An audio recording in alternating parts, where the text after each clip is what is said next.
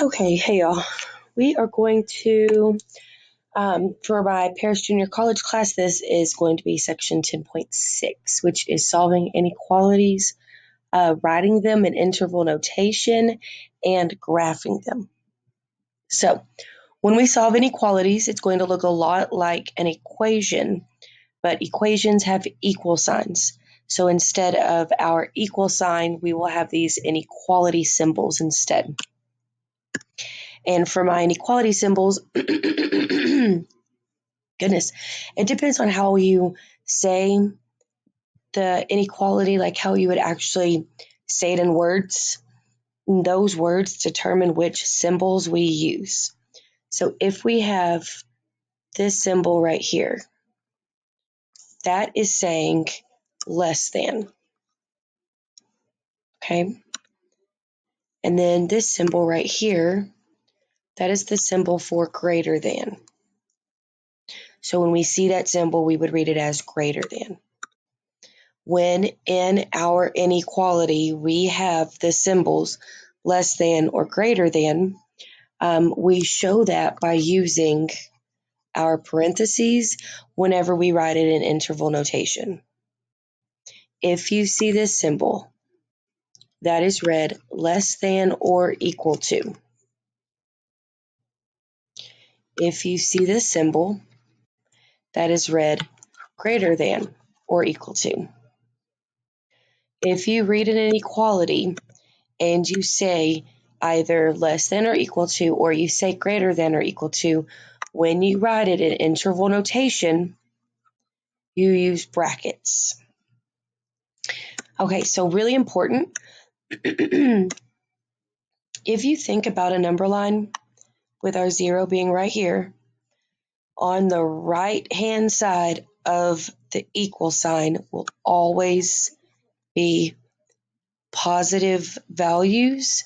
And so when we write our answers in interval notation, we can actually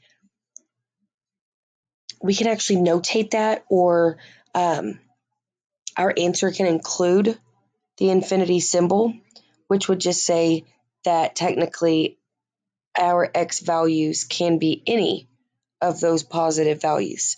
And if it doesn't end at a specific point, then that would imply that it goes on forever towards infinity. If you have our zero and we're talking about any of the values to the left of a zero, those are negative values. If our inequality doesn't tell us a specific value to stop at, and it's um, going in the negative direction, when we write our answer in interval notation, we can actually notate that by writing our negative infinity. Now, just like where they fall on the number line, if we're writing interval notation and our answer is going to include a negative infinity, our negative infinity will always go on the left of our interval notation and our positive infinity will always go on the right of our interval notation. And when you have any infinities anywhere, because infinity is not an actual numerical value that we can equal or approach really, really closely. And I'm sorry, I meant to just say equal. I was starting to read the other side. Um, because we don't have a value that we can actually equal, all we have is a value that we can approach and get really, really close to, but never equal, what we do is we put it always near a parenthesis. And so, like I was saying, our less than is not equal to, so we use this. And that would mean we use a parenthesis. Similar thought with our infinities. We can't actually equal infinity. Therefore, we use parentheses. If you notice here, that straight line means that my values can actually equal a certain um, a certain number on the number line. Okay, I'm trying to think of what else. Um, so you solve your inequality, less than, greater than, greater than, or equal to, less than or equal to. We use our parentheses or we use our brackets. Um, negative infinities would always be on the left. Positive infinities would always be on the right. Okay, and so what I mean by using parentheses and using brackets, not only will we use parentheses and brackets in our interval notation, but that'll also be how we graph. Okay, so let me go and do an example.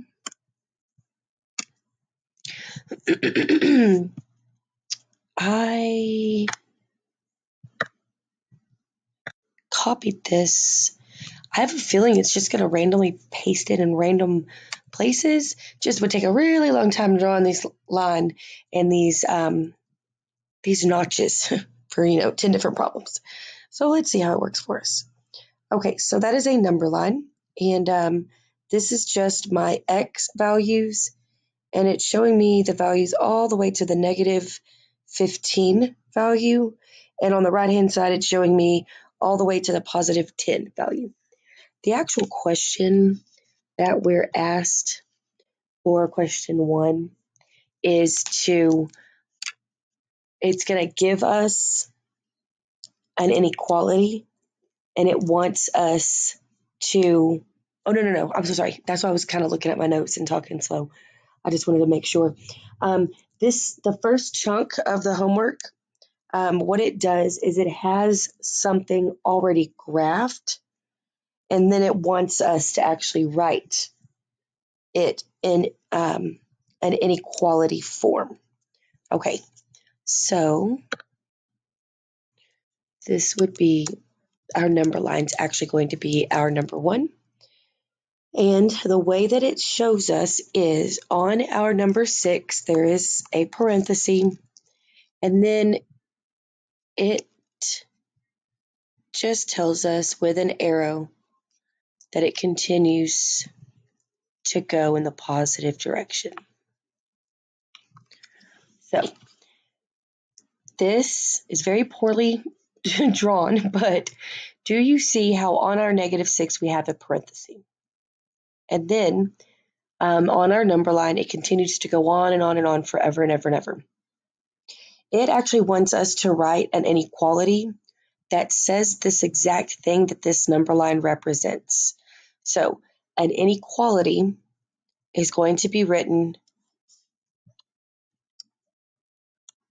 inequality is going to be written in the way of um, we have a variable is going to honestly be x, y'all, for I think almost every single problem on here. Um, and I would just get used to always writing x for this. Um, it's going to be a variable, an inequality symbol,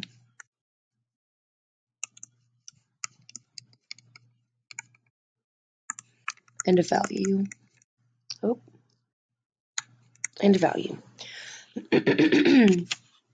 so my variable, we're going to, let's just go ahead and make it a note. For this section, we're always using X. Um, I believe your homework should do the same thing, hopefully, pretty sure. So my inequality is a variable, an inequality symbol, and a value. So the variable that I'm going to use is X.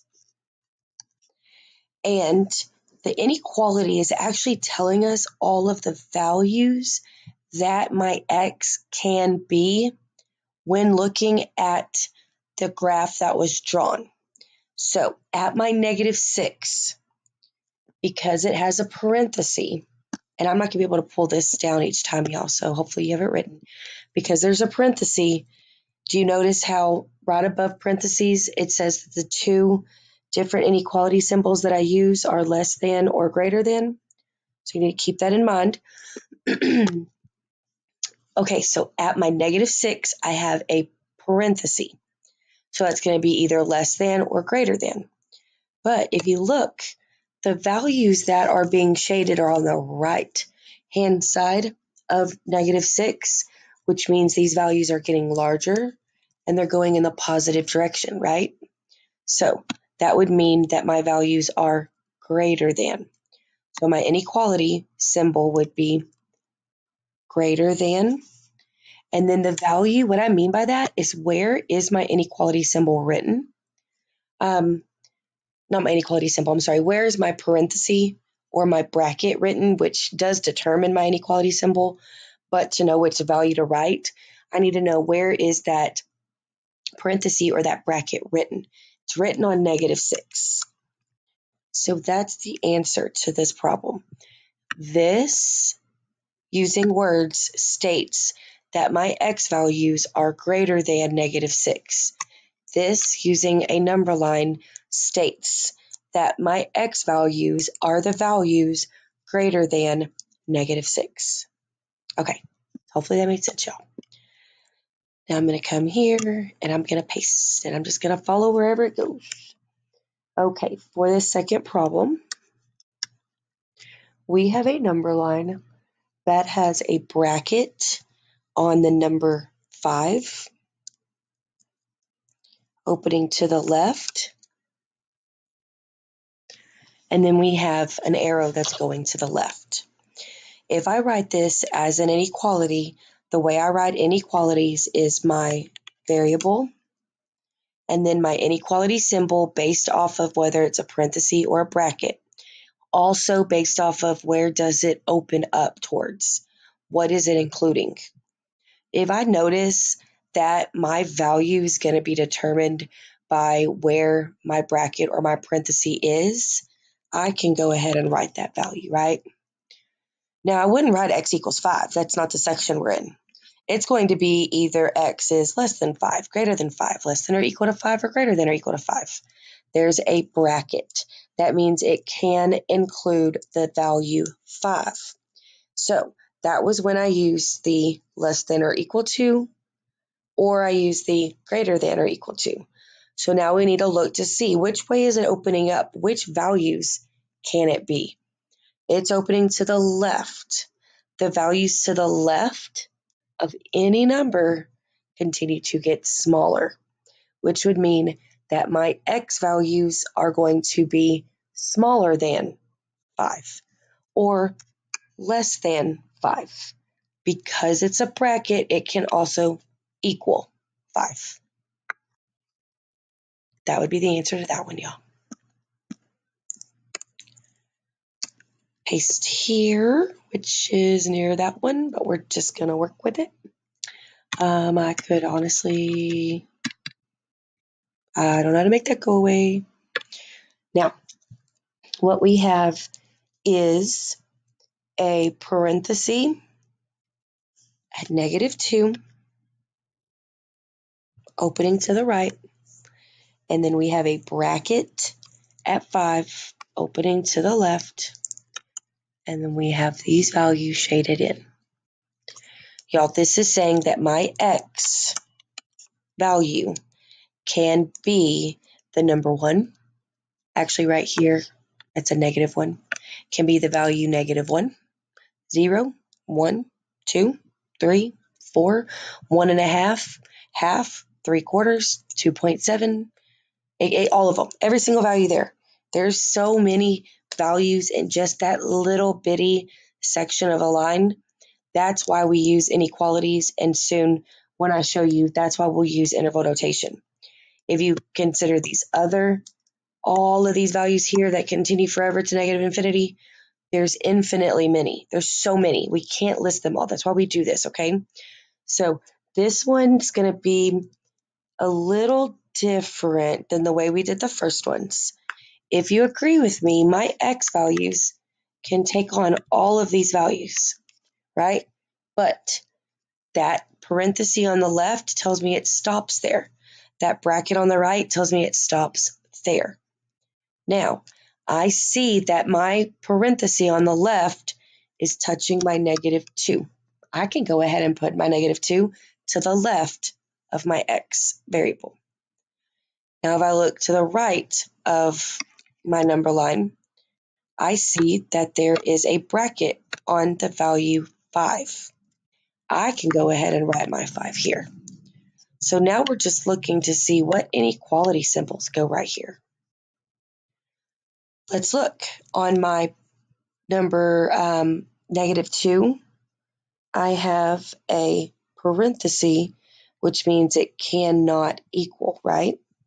I also notice that my x value is going to be any of these values right there, which is to the right of negative 2, which means it's larger than negative 2.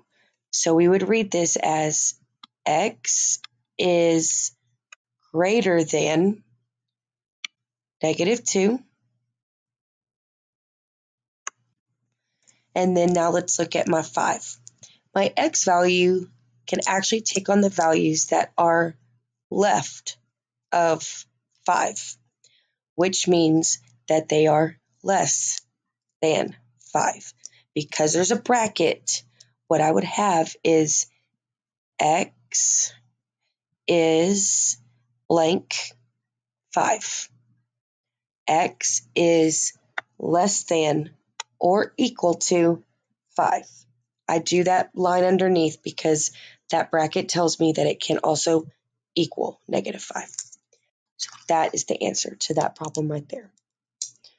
Okay, so I'm going to stop this video and then I'm going to start another one because what we're going to actually do is we're going to be given an inequality. So we're going to be given this and we're actually going to learn how to write it in interval notation. And then based off of those facts, we're going to then graph it. Okay? If y'all have questions for this, make sure you let me know. Okay? Bye, y'all.